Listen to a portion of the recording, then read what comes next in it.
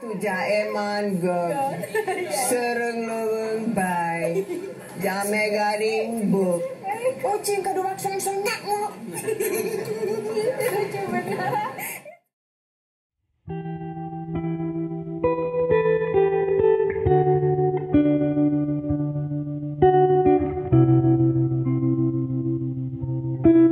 Beranda depan menghadap jalan beraspal yang tenteram Halaman belakang dibatasi kebun anggur.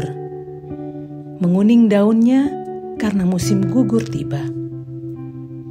Tak sampai ratusan meter berdiri kokoh Kastil Spitz. Lalu ada danau biru bening, Danau Tun. Dengan kapal ferinya yang menyemburkan ratusan turis. Di tempat semacam inilah Gladys Zurbeck Lugenbühl melewatkan masa tuanya. Usianya sudah sepuh, 93 tahun. Tapi jangan ditanya mengenai ingatannya. Ingatannya masih jernih, terutama jika bicara tentang Indonesia atau tepatnya Hindia Belanda. Geboren bin ich in Sumatra. Wir, meine Eltern wohnten in ähm, Pagaralam, Süd Pagaralam, ja. Pagaralam. Mein Vater hat dort gearbeitet in einem Spital und ähm, später hat, hat auch Hausunterricht in der Schule und später sind wir aber nach, nach Bandung gegangen Ja, und, und dort, ja. Gladys memang orang Swiss yang menjadi saksi hidup zaman penjajahan Belanda di Indonesia. Ia lahir dan besar hingga remaja di Sumatera dan Jawa Barat selama 16 tahun. Orang tua Gladys itu bernama Kurt dan Gret Zurbeck yang menjalankan tugasnya sebagai dokter di Sumatera dan Bandung.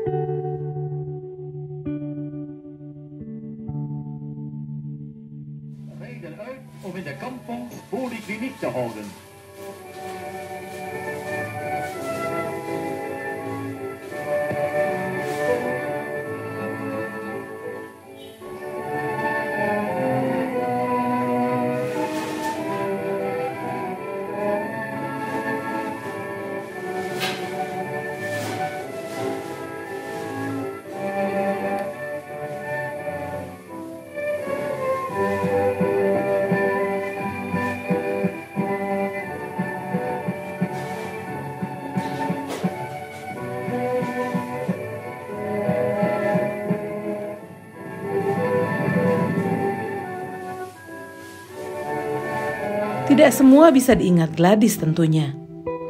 Namun catatan harian yang ditinggalkan Gret sebanyak 17 bundel menjadikan kisah dramatis pasangan ini, termasuk Gladys dan Bernhard kakaknya, terungkap.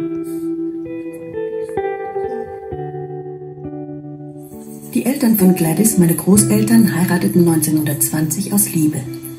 Kurt, mein Großvater, war Mediziner und suchte das Abenteuer im fernen Osten. Meine Großmutter Gret reiste ihm mit zarten 19 Jahren hinterher. Gret führte fleißig Tagebuch. Eine wahre Fundgrube für uns. Die Texte und Fotos erzählen von ihren Erfahrungen in der holländischen Kolonie auf den Inseln Sumatra und Java. Und so beschrieb meine Großmutter, mit welchen Vorstellungen sie als wohlbehütetes Berner Mädchen nach Südostasien reiste.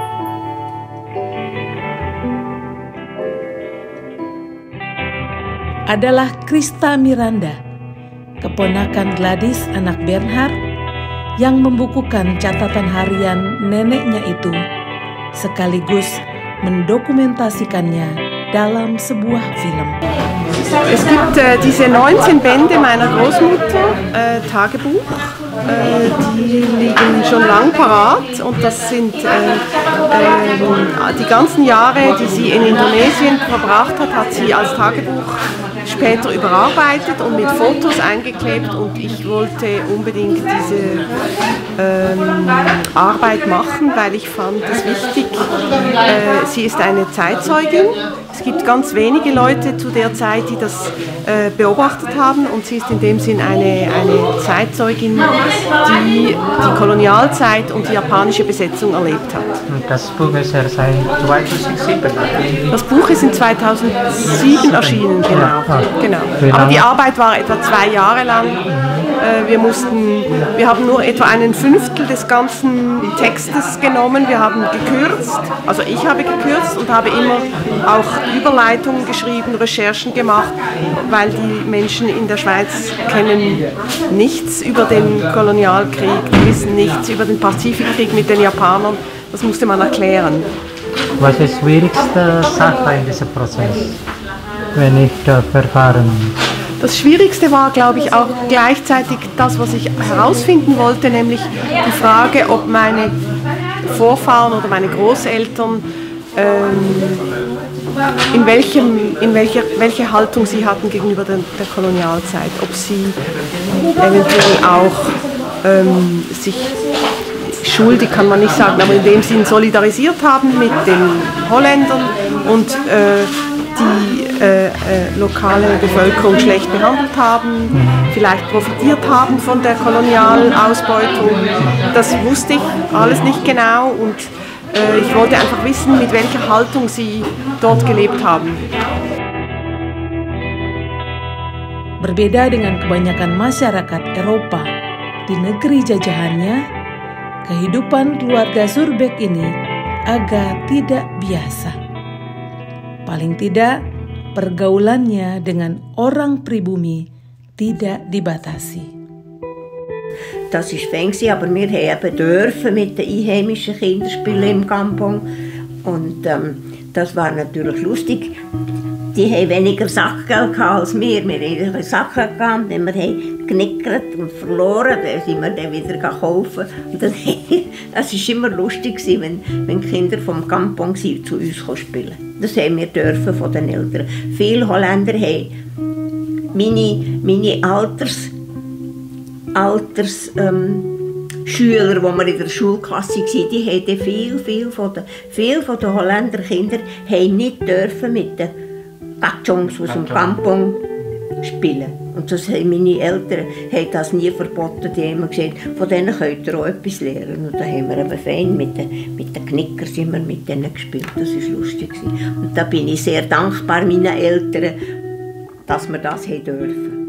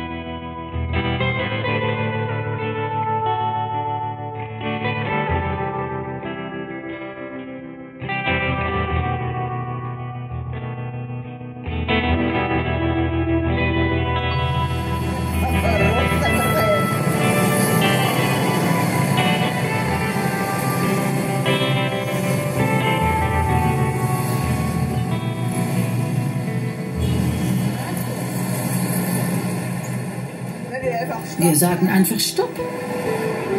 Ja. Voilà. Voilà. Voila, überlebt. Very dangerous. Im traditionsreichen Hotel Hohmann verkehrte damals die weiße Gesellschaft. Auch die Familie von Gladys. I think I know a children's rhyme, I tell you, but I don't know the meaning. Jarole ja. Tulak tuja eman god. Sereng leweng bay. Jame garing buk. Kucing kedua seng seng nak lo. Is it is it a children rhyme? This keeps coming back now to me, you know. What, is your nanny always sing that for you? Uh, I'm sure she did. Not. And, but what the, there is no real meaning except for the Ichin Kanuwak Song Song Ngek Ngok. That means that when you kick the Yeah. when you kick the cat, it says Ngek Yeah, yeah, yeah. It's, Yeah, it's so and that's the only thing I, I realized. But the other one has no meaning. It's just sound for just, uh, for children's. It's just word, yeah. Yeah, yeah. Yeah. And you Yeah. still use it for the children? No more. It's many long time. They have. My They,